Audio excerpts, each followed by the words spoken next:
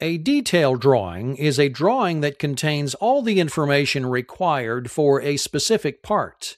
There are many different ways a part can come into existence, including casting, machining, welding, purchasing a part, or even modifying an existing part. As such, there are also a variety of detail drawings depending on the way in which a part is generated. A casting drawing is a type of detail drawing for parts made by casting or molding. The material for the part is typically called out in the material block, although it can sometimes be found in the notes section. A critical part of any configuration control process is adequate identification of manufactured parts. Most casting have their part numbers permanently cast into the part. The dimensions on a casting drawing are what the foundry or manufacturer uses to make a pattern or mold and are the final cast dimensions of the part. Other information that may be included on a casting drawing are mold lines, datum plane references, and even information on how to best remove the part from the mold. A machine drawing details all the information required to take raw material and turn it into a finished part. The machining tolerances, material, finishes, etc. are all shown on the detail drawing. Machine drawings are detail drawings that require machining to create the end product. They can be developed using a cast part as the original material. In this drawing, the casting from the last example was used as the starting material. This machining drawing will remove material from the original casting and add the finishes required to produce a final product with its own unique part number. Only the dimensions necessary to convert the original cast part into the new part are required. The casting dimensions are not shown. Detail drawings can build on one another. For instance, a machinist could take an existing part and add or remove material to change its configuration. This type of drawing is called a modification drawing. Modification drawings delineate changes to existing items. As with a machine drawing made from a cast, modification drawings are created to add, remove, or rework details that result in a new part. Only the dimensions or other information required to alter the part into its new configuration are documented. Modification drawings also incorporate mandatory changes. For example, safety, reliability, or application extension into existing delivered equipment. This type of drawing can also be referred to as a make from drawing. Another type of detailed drawing is the purchase part or procurement drawing. This type of drawing details all the information required to buy a stock part off the shelf. This type of detail drawing typically only shows information useful to the purchaser to detail the performance or configuration of the item required. These characteristics are typically called the form, fit, and function of the part. It's up to the manufacturer to develop detail machine or casting drawings that conform to the purchase part drawing requirements. Pattern development drawings detail the dimensions of a part when it is flat, as well as the final shape it takes, typically by bending or folding. Pattern development drawings are frequently used where sheet metal, fabric and leather, tubing, plastic, or cardboard is the raw material.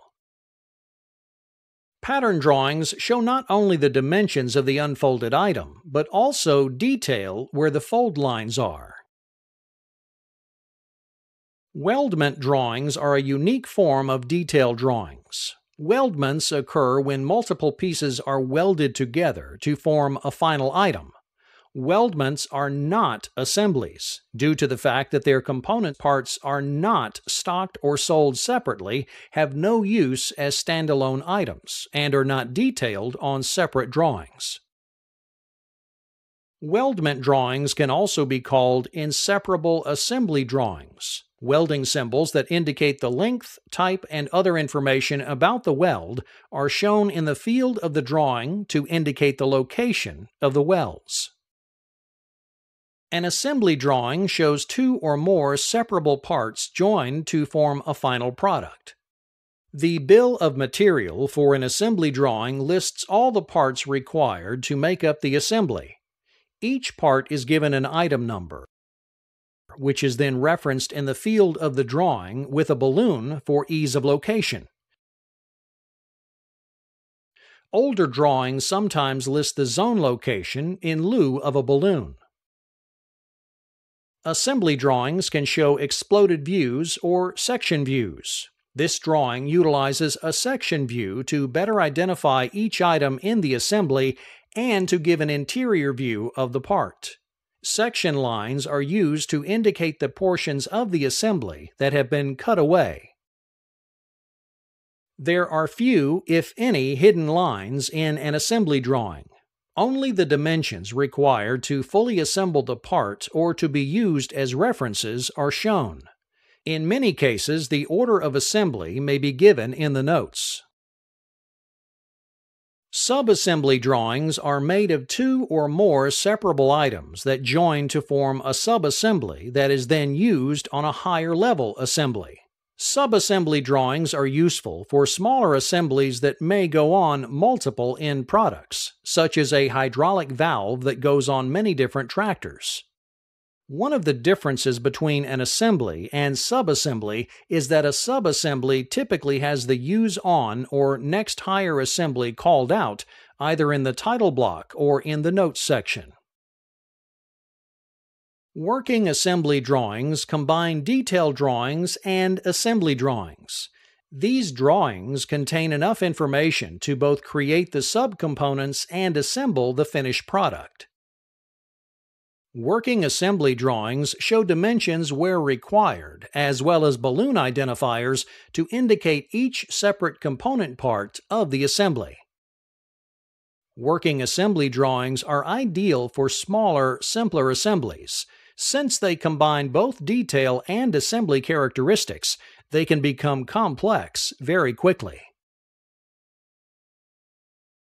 A diagram assembly drawing shows installation of equipment using symbols and is often made in pictorial form. Diagram assembly drawings are typically used to depict wiring, piping, and other systems where scale models and dimensions are not required. Each part on a diagram assembly is indicated by a picture. Exploded assembly drawings are not very common in a set of production drawings.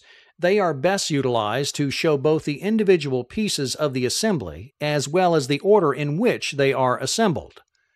Exploded assembly drawings are typically used in maintenance manuals, parts catalogs, or other information given to the general public. With the advent of computer aided design, or CAD, it has become easier than ever to generate exploded view drawings. A full set of production drawings may contain detail, assembly, subassembly, working assembly, and diagram drawings that are all used to depict the final product.